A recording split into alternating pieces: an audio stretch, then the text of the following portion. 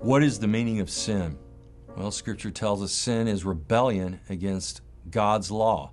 It is lawlessness, according to 1 John 3 4.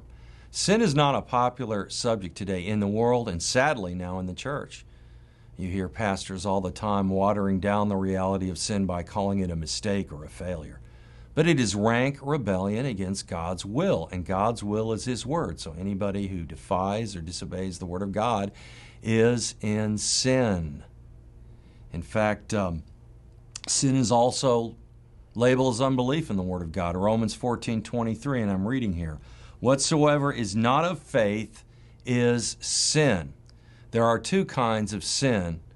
Sin can be boiled down to two kinds. First, the sin of commission doing what God forbids, like lying or stealing, for example. And then there's the sin of omission, failure. This is failure to do what God requires.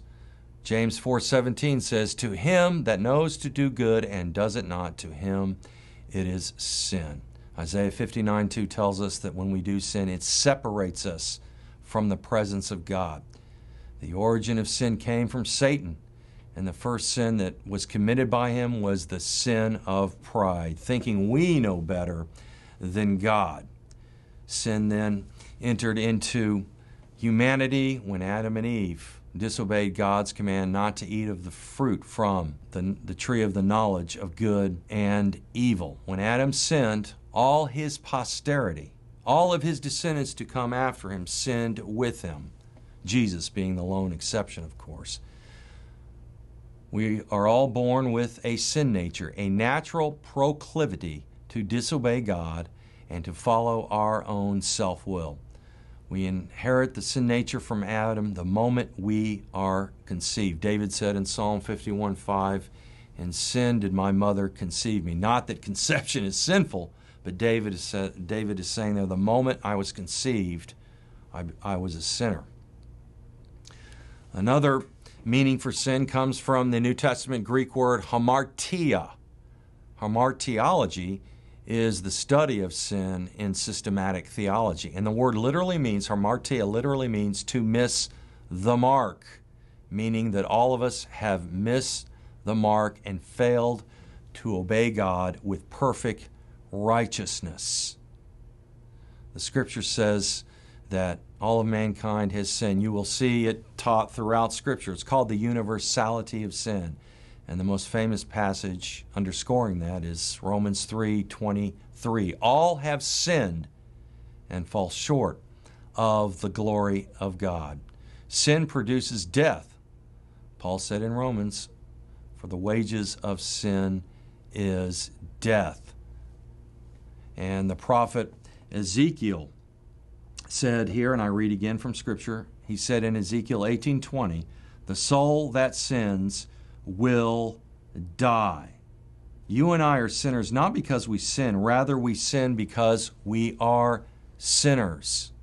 Sin produces two things. It produces physical death when the soul is separated from the body, and spiritual death. All people are born spiritually dead in their trespasses and sins, Ephesians 2 1 through 2. Sin condemns us, it separates us from God. Sin is rebellion against God's authority and disobedience to His word. The ultimate destiny for those who are in sin is damnation and eternal punishment in the lake of fire. Sounds pretty bad. Well, it is bad. But praise God in His mercy and grace, He sent us a Savior from sin. And that Savior is the Lord Jesus Christ. He has come to save us. And John 3:16 is the most wonderful passage in scripture that tells us Jesus came to save us from the awful consequences of sin. We're all sinners. Therefore, all of us need a Savior. And to that end, Paul says this about Jesus, the Savior from sin, in 2 Corinthians 5:21, he who knew no sin became a sin offering for us that we might become the righteousness of God in him. The gospel of Jesus Christ is the only remedy for sin. Nothing else will do. Look to Jesus Christ that you might be healed from the penalty, power, and punishment of sin.